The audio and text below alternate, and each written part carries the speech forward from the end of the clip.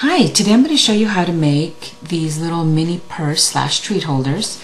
It is one pattern and you're going to get two different looks. Okay, this one I made for Valentine's Day and here is one of the first ones that I made. Okay, so let's go ahead and get started. Put those aside.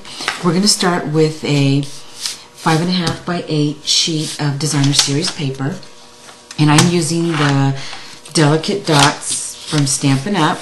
And this month and next month, it is free with every $50 you purchase. Um, the five and a half inch side, we are going to score at one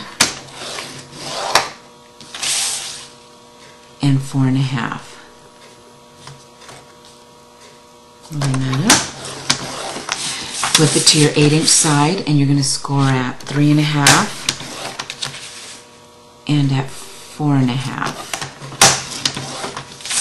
Okay. Then you're going to fold your little score lines increase those really good. And uh, with your bone folder.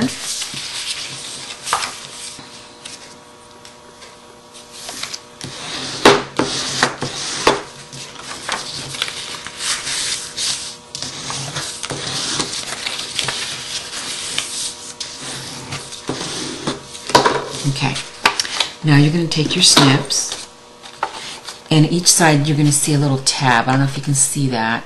You're going to see a little tab and you're just going to cut on each line till you get to the first score line.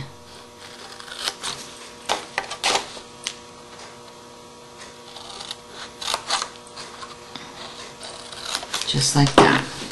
Okay, now it should look like this. Okay, now you're going to take your red sticky strip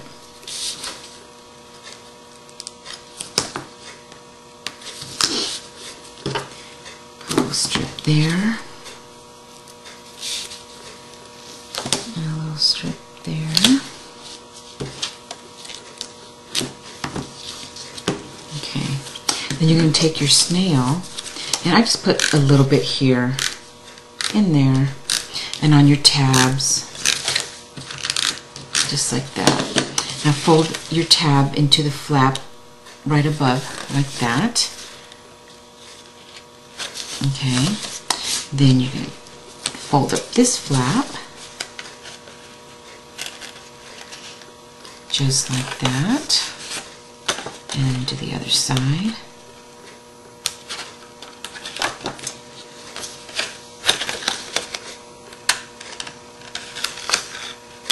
Okay, and I like to take my bone folder just to give it a little press inside on both sides. Okay, so that's your finished little purse or treat holder. Now, at this point, you can just decorate it and just have it a little as a little purse with your little embellishments there. I put a little bit of, you know, trim right here.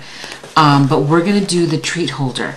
So I am going to take a three and a half by one and a half sheet of Bashful Blue cardstock. I'm going to take my eyelet border punch I'm going to put this in the middle like that. Give it a punch.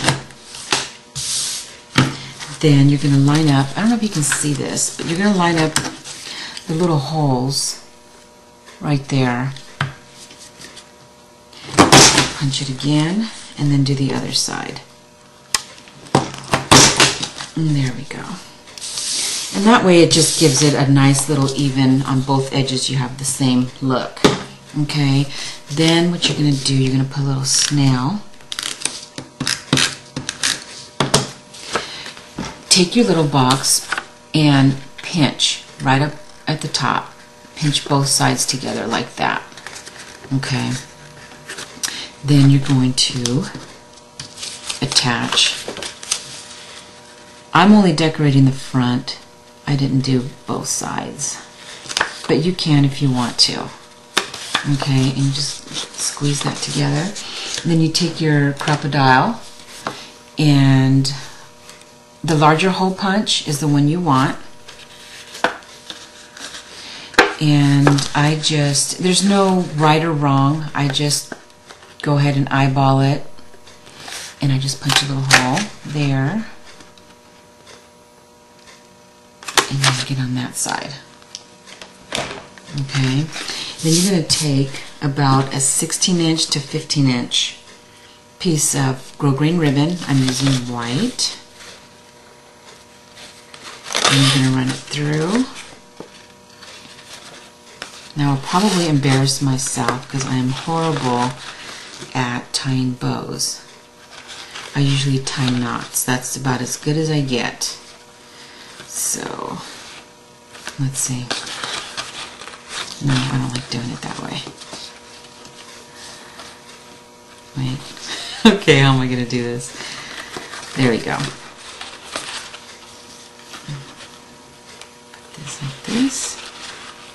Now if I get, if this comes out, it's just pure luck, trust me. Okay, I guess that's not too bad. A little bit. Both sides. Okay, so that's not too bad. Now what I want to do is I am going to put a little uh, image right here. I'm going to take my one and three quarter inch circle using So Saffron. I'm going to take my Bashful Blue ink and my heart from the Polka Dot Punches stamp set from Stampin' Up. And again, this is another uh, celebration set um, that you can get this month and in March for every $50 you spend. Okay, so I'm going to ink that up, stamp it, use my heart punch, punch that out,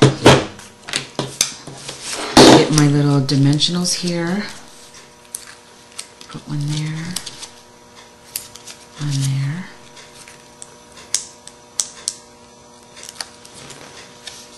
just center that.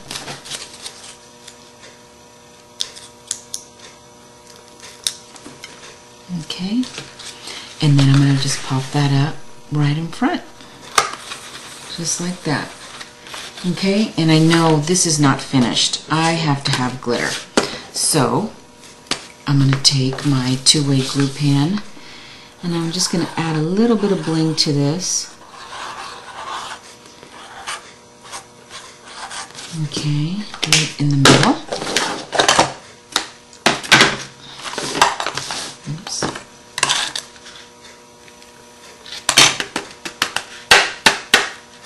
Okay, just tap off the extra. Okay, and there we go.